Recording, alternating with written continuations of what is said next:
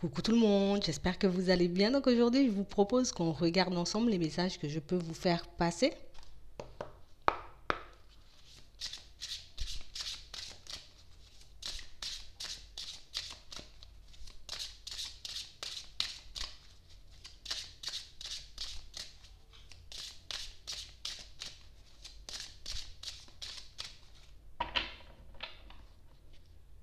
On nous parle de personnes qui en ce moment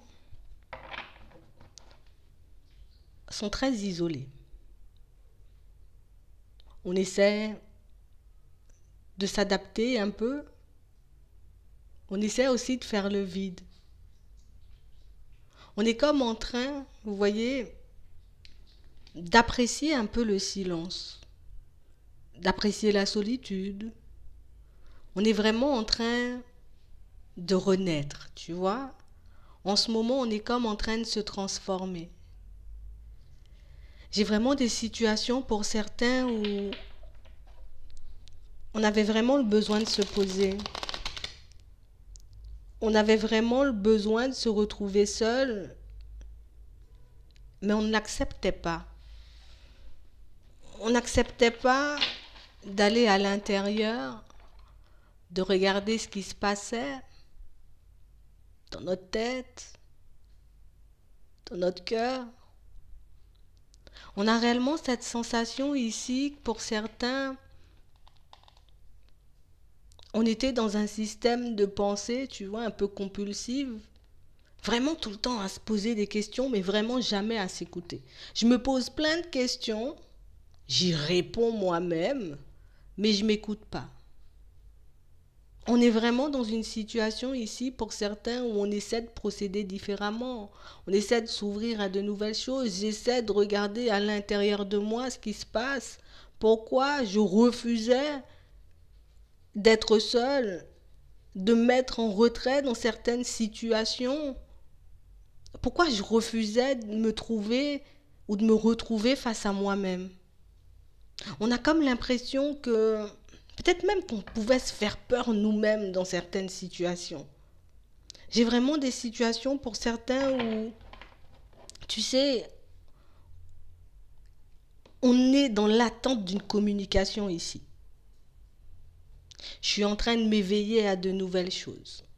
Je vois maintenant, tu vois, dans certaines situations, la vérité je comprends ce qui a pu se passer, ce qui a pu clocher, ce qui a pu me ralentir, me faire chuter, me mettre au plus bas dans ma vie de manière générale. Mais je me détache pas vraiment, tu vois, d'une situation. Je me dis, je suis en train de lâcher prise. Hein. Je suis vraiment en train de me détacher. Je fais vraiment le nécessaire pour que je puisse, tu vois, me sentir un peu mieux, pour que je puisse retrouver un peu d'énergie, pour que je puisse me retrouver moi-même. Mais au fond, on n'en a pas envie. Là, on est forcé. Là, on est comme obligé de se retrouver seul parce que ben, la communication, elle n'arrive pas. Il y a des situations qui peuvent être bloquées aussi tout autour de nous. Mais on ne profite pas de cette période. Je peux en faire plein de choses de cette période. Je peux en faire plein de choses, tu vois, de cette solitude. Je peux faire plein de choses pendant que je suis seule, tu vois. Je peux essayer de me réconcilier avec moi-même dans certaines situations. Je peux essayer de mettre de nouvelles choses en place pour moi, pour ma vie, de manière générale. Mais je refuse de le faire tant que j'ai pas de communication.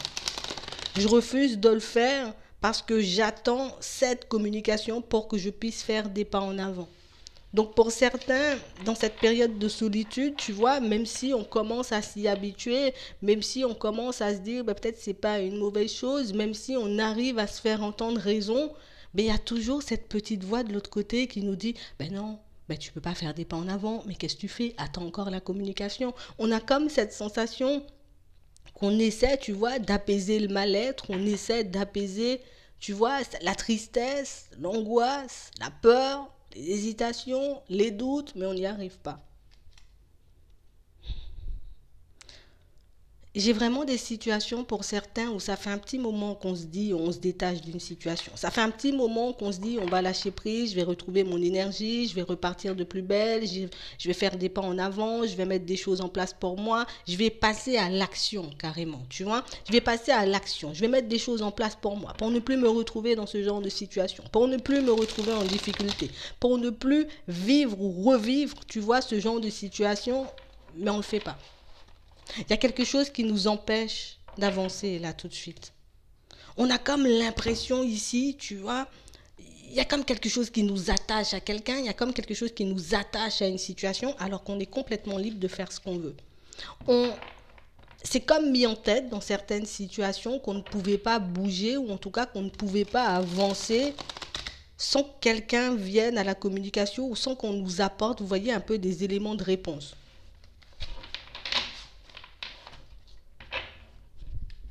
Ouais. Et pourtant, ben, la clairvoyance, elle est là. Et pourtant, je sais ce qui se passe dans cette situation. Je sais pourquoi la situation, elle est bloquée. Je sais pourquoi je me retrouve, tu vois, un peu bloquée, un peu à faire du surplace. Pourquoi j'ai l'impression de m'enfoncer dans certaines situations. Et, et, et on a ouvert les yeux depuis la période du printemps.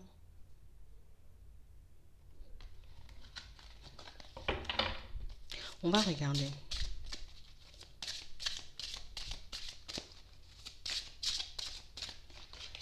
Ouais. J'ai vraiment des situations pour certains où ici on a comme l'impression qu'on regarde les personnes vivre autour de nous. Je regarde les personnes vivre. Je regarde ce qui se passe tout autour de moi. On parle réellement pour moi d'une situation où c'est comme si on ne voulait pas laisser partir une personne ça peut être suite à une séparation, ça peut être suite à un décès. Ici, on se dit, euh, oui, bah, moi je la laisse partir, je me détache, je laisse prise, euh, je suis plus du tout dans la situation, j'ai compris ce qui se passait, j'ai compris que c'était pas bon pour moi, mais on s'accroche encore. J'ai comme des personnes qui ne jouent pas franc jeu avec elles-mêmes ici. On n'est pas dans l'honnêteté, dans la sincérité avec nous-mêmes, on dit tout le contraire de ce qu'on pense en réalité.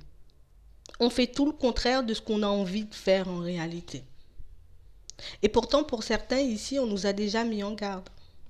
On nous a comme déjà fait passer des bons messages. Pour certains, on sait déjà ce qui nous attend, on sait déjà ce que cette situation va donner. Alors peut-être que c'est quelqu'un qui est venu vous apporter l'information, ça peut être une intuition, tu vois, ça peut être ton instinct, mais malgré les mises en garde, malgré le fait qu'on sache que cette situation, en tout cas pour le moment, on ne nous parle pas de la situation, on ne nous parle que de vous, mais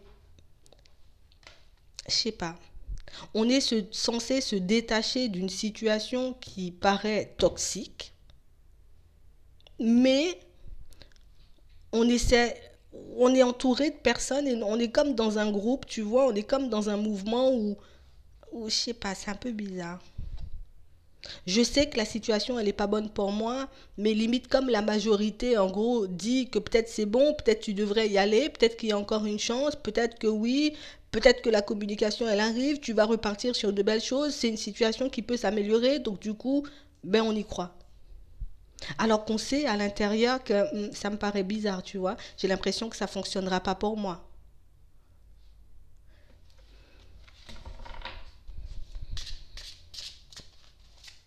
Ici, pour certains, on ne s'écoute pas beaucoup. Ici, on a des guides, on a des personnes qui essaient de nous pousser à aller dans la bonne direction, on a des personnes qui nous poussent, vous voyez, on a pu demander de l'aide pour certains. Donne-moi la force pour que je puisse lâcher prise. Donnez-moi, tu vois, un peu d'énergie pour que je puisse aller de l'avant. Dites-moi ce que je dois faire. Est-ce que la situation, se débloque ou pas du tout? On nous donne la réponse, mais on n'en fait rien. Et pourtant, on a déjà vu au-delà des apparences, tu vois. On sait peut-être que la situation, elle n'est pas, vraiment faite pour nous.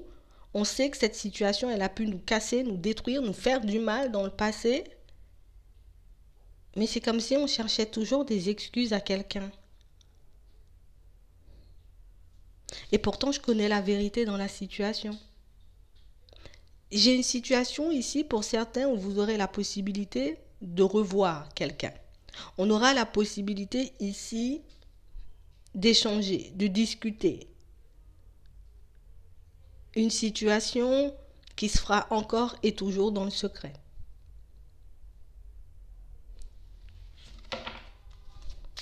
Comme quelqu'un qu'on voit en secret, comme une situation qui n'avance pas, qui n'évolue pas forcément. Et ça, dans cette période de solitude, on a pu le découvrir. On a pu recevoir des signes, on a pu recevoir des synchronicités. Notre intuition, elle a parlé, elle est là. Mais on veut quand même y aller. On veut quand même y aller. Pour certains, j'ai comme l'impression que, tu sais, ça peut être quelqu'un qui se présente bien en apparence.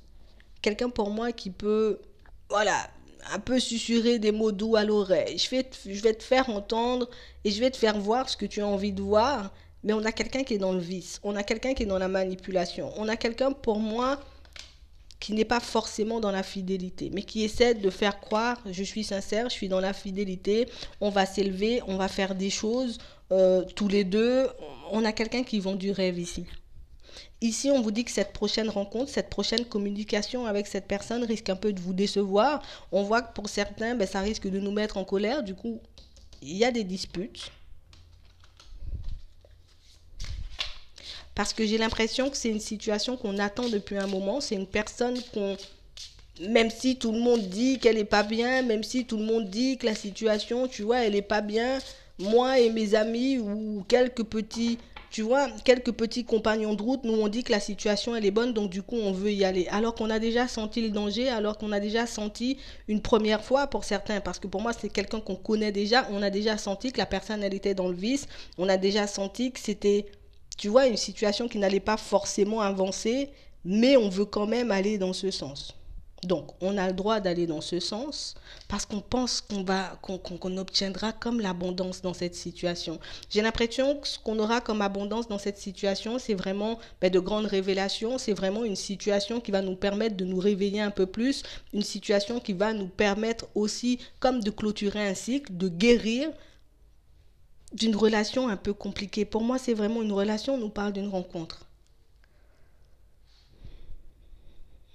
C'est comme si ici, on essayait de s'agripper, de s'attacher à quelqu'un, vous voyez, un peu matérialiste, à quelqu'un, j'ai envie de dire, un peu dans le vice, quelqu'un pour moi qui n'a pas de très bonnes intentions, mais quelqu'un qui arrive quand même à nous faire voir ou à nous faire croire que, ben non, c'est les personnes autour qui essaient de faire croire que la situation, elle n'est pas bonne. Ce sont ces personnes qui essaient de te détacher de moi. Ce sont, tu vois, et, puis la personne, elle rejette la faute. Ben non, mais c'est pas moi, c'est toi, tu vois pas. Ce sont des amis, ce sont les personnes autour de toi, ce sont les personnes qui te conseillent, euh, qui ne sont pas réellement euh, sincères. On a comme quelqu'un qui arrive à retourner les situations. Vraiment quelqu'un beaucoup dans le vice. Ouais quelqu'un pour moi qui risque de beaucoup vous décevoir pour certains. Et pour moi, ça a déjà été fait. Mais là, on a le retour d'une situation, le retour d'une rencontre ou d'une personne qui va nous décevoir à nouveau. Pour certains, j'ai l'impression qu'on a envie d'aller au fond des choses, même si on nous dit ça. Et, même si on nous dit que la situation elle est toxique, même si on nous dit que la situation elle donnera rien, même si on nous fait comprendre aussi dans certains cas qu'il y a déjà eu trahison ou elle t'a déjà frappé ou elle t'a déjà fait du mal, euh, elle risque de recommencer, on veut pas l'entendre. On prend ça comme une critique. C'est comme si tu voulais critiquer mon couple, c'est comme si tu voulais critiquer l'autre, c'est comme si tu voulais critiquer ma relation et du coup on le prend très mal. Ouais on vous demande de faire très attention à cette situation et à cette personne qui a déjà pu être violente. Cette personne qui vous a déjà beaucoup tiré vers le bas. Cette personne qui était attirée un peu parce que tu as, parce que tu peux lui apporter et pas par ta personne. Quelqu'un à qui on n'a jamais fixé de limite. Vous ne lui avez jamais fixé de limite à cette personne. On a l'impression qu'elle peut même faire peur parfois. C'est quelqu'un qui peut faire peur, c'est quelqu'un qui vous fait peur dans certaines situations. Mais on veut quand même y aller. On veut quand même y aller parce que c'est quelqu'un qui, elle se présente bien. On l'attend de toutes les façons. On se dit, elle peut changer. On se dit, peut-être que c'était une période où elle était un peu perturbée, une période où elle n'avait pas forcément les idées claires, une période où, tu vois, c'était un peu compliqué ici on est un peu dans la dépendance affective. On ne voit pas forcément euh, le mal. Oui, c'est sûr, il n'y en a pas partout, mais il y en a quand même. En tout cas, dans cette situation, on va regarder ce qu'on peut nous dire d'autre par rapport à la situation, histoire que ça puisse un peu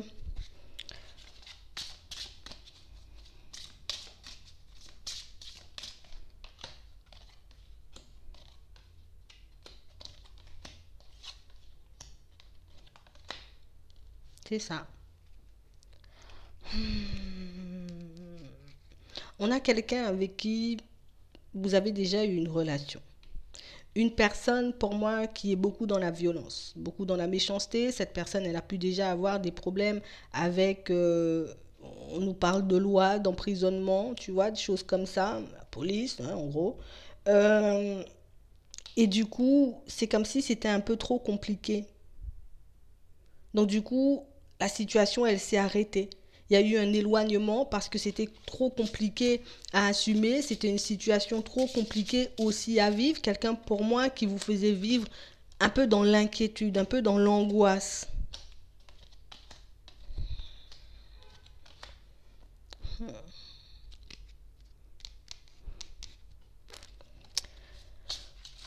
Pour certains, on vous voit réellement y retourner. Ouais. Quand cette personne arrive, on l'accueille à bras ouverts, on se dit qu'on a encore une nouvelle possibilité, on se dit qu'on peut repartir sur quelque chose de stable.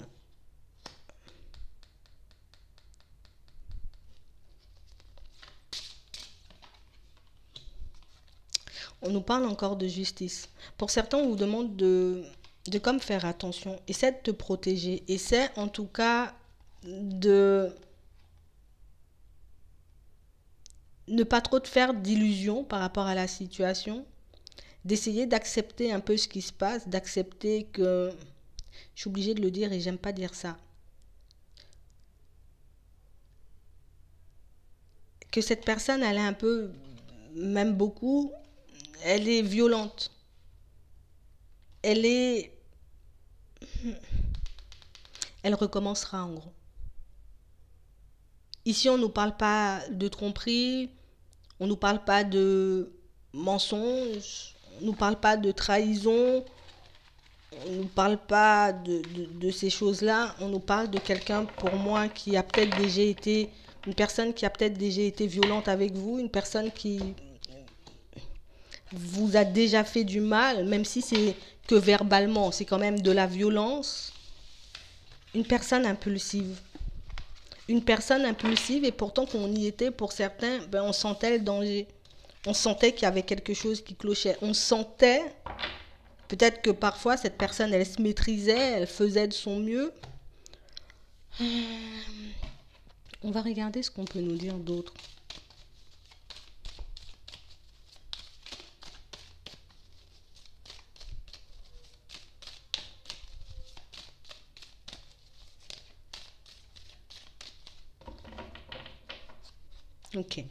La situation, elle est gelée en ce moment. D'accord? Vraiment une situation où, pour moi, c'est quelqu'un. C'est une personne froide. Une personne, pour moi, pour certains, on le sait au fond, qu'on ne va pas forcément s'épanouir avec elle. On sait au fond qu'il n'y aura pas grand-chose en termes d'amélioration mais on veut quand même y aller.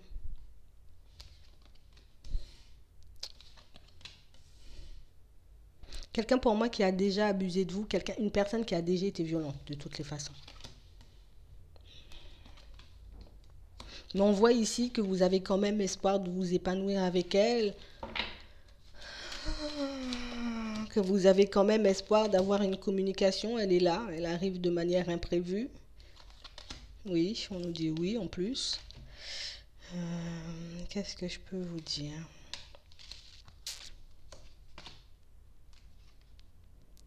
Tu risques de revivre, parce que pour moi, ça, ça parlera pas à tout le monde. Tu risques de revivre exactement la même situation. En gros, ça va recommencer. Là, pour certains, on sent que vous avez pas mal d'hésitation. D'accord? Est-ce qu'elle va me contacter? Est-ce qu'elle va revenir? Est-ce qu'on va repartir un peu de zéro? Est-ce que la situation va s'améliorer? Est-ce que cette personne, elle va réellement se calmer, qu'on pourra s'épanouir, qu'on pourra aller de l'avant? Moi, je vous dis, j'aime pas dire ce genre de choses, mais moi, je te dis, elle va le refaire. Si elle a déjà levé la main sur toi, elle va le refaire. Si elle a déjà été violente dans ses communications, même la violence verbale, c'est de la violence. On n'a pas forcément envie de la quitter parce qu'on a beaucoup de sentiments pour elle, on n'a pas envie de se retrouver seul. On a l'impression que pour certains qu'on vous a déjà mis en garde par rapport à cette situation. On a une femme, donc on a quelqu'un qui a déjà fait le nécessaire. Ça peut être quelqu'un de la famille, un ami, un collègue, comme vous souhaitez. Mais en tout cas, on a l'impression qu'il y a quelqu'un qui vous a déjà demandé de faire attention.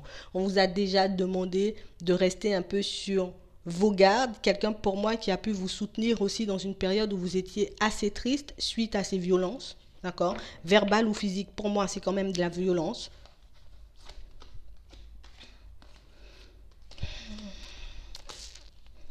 Il n'y a pas de changement. Une personne qui s'apaise, vous voyez, l'espace d'un instant, je m'apaise, et la prochaine fois que les choses ne vont pas dans mon sens, ben, je recommence.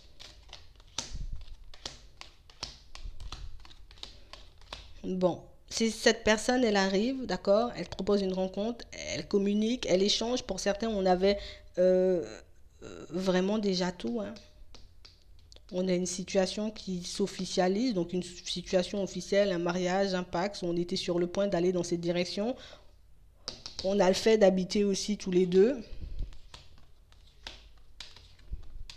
Et on est tout le temps dans les disputes. En tout cas, on a tout le temps été dans les disputes avec cette personne. Ici, on a l'impression qu'il y a pas mal de personnes quand même qui vous mettent en garde. Hein. Ici, on voit une femme, mais ici, moi, j'ai plus l'impression qu'au niveau de la famille, ben, on a essayé de vous mettre en garde. On n'est pas forcément non plus à l'aise avec certains de vos choix, mais on n'a pas envie non plus de vous mettre des bâtons dans les roues. En tout cas, on n'a pas ces personnes, vous voyez, les personnes qui sont proches de vous, les personnes qui vous aiment n'ont pas envie de vous voir y retourner, mais on a compris que vous n'entendrez pas raison.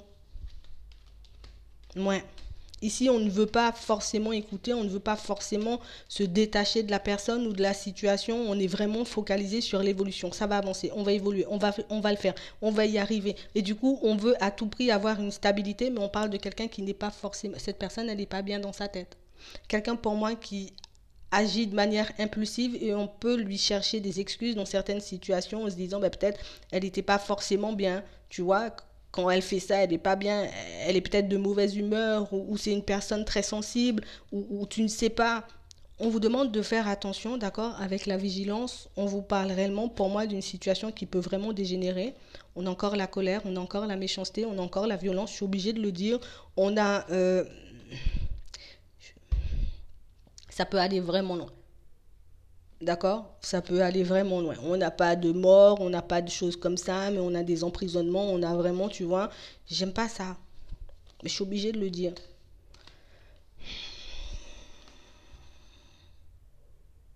On vous demande de faire preuve de courage dans cette situation.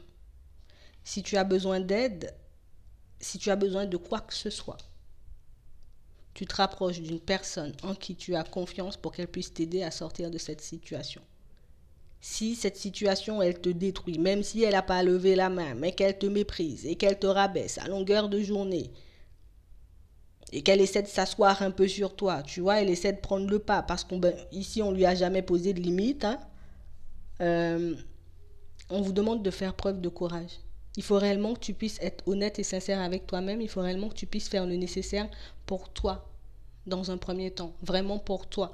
Donc, moi, je pense que comme cette situation, elle est un peu complexe, chacun doit prendre sa propre décision. Chaque personne, tu vois, doit faire en son âme et conscience. Mais moi, je te dis, elle va recommencer. Une personne qui te méprise, qui te frappe, qui te fait du mal, tu vois, même si c'est que verbal, ben, euh, c'est pas de l'amour, en gros. C'est pas de l'amour, c'est de la violence. Elle se déchaîne. En tout cas, elle se défoule plus, tu vois, sur toi parce qu'elle n'est pas bien dans sa tête. Et ça, c'est quelque chose de pas normal. Tu n'es pas là pour encaisser, tu es là pour vivre une situation posée, tu es là pour vivre, tu vois, euh, un, amour, en gros. Mais tu n'es pas là pour te faire. Euh, Pas là pour te faire souffrir en fait. Donc, si vous avez besoin d'aide, on a des associations, vous avez des personnes aussi de la famille, vous avez plein de personnes autour de vous. Donc, si tu te sens seul, ou que tu es déjà en train de t'éloigner en ce moment, je pense que tu devrais te rapprocher de certaines personnes histoire que tu puisses parler, même si c'est juste au téléphone, tu vois, j'appelle la famille, j'essaie d'échanger, de discuter, ça me permet de voir les choses différemment parce que quand on est enfermé dans une situation, ben, on ne voit pas forcément les choses clairement, surtout quand il y a de l'amour. Donc moi, je vous propose réellement de vous rapprocher de personnes sincères, de personnes pour moi qui pourront réellement vous aider, vous épauler, peut-être même vous héberger dans certaines situations. Ici, on en trouve toujours et... Euh, vous allez le trouver. En fait, il faut juste qu'on puisse avoir le courage de faire la démarche. Mais ici, on a la sincérité. On a une personne sincère qui peut te donner le courage, tu vois, qui peut t'aider à geler la situation. Donc, quelle que soit la personne, tu as besoin d'aide, tu vas. C'est pas le moment. Euh, qu'on puisse, tu vois, laisser l'ego parler ou l'ego dire, ben non, mais qu'est-ce que tu fais? Ou les autres, ils veulent critiquer mon couple. Non, là, c'est pas de la critique, c'est de la violence. Donc, euh, parfois peut-être qu'on peut faire passer des messages, vous voyez, que ce soit moi ou que ce soit les personnes autour, un peu de manière, tu vois, un peu piquante, d'une façon un peu violente et ça peut te vexer, mais c'est parce que nous, ça nous vexe peut-être, tu vois, de te voir ou de savoir dans ce genre de situation. En tout cas, j'espère que ça pourra vous aider. Si vous avez besoin d'aide, vous n'hésitez pas, surtout. Je vous souhaite une très bonne journée ou une très bonne soirée, puis je vous dis à la prochaine.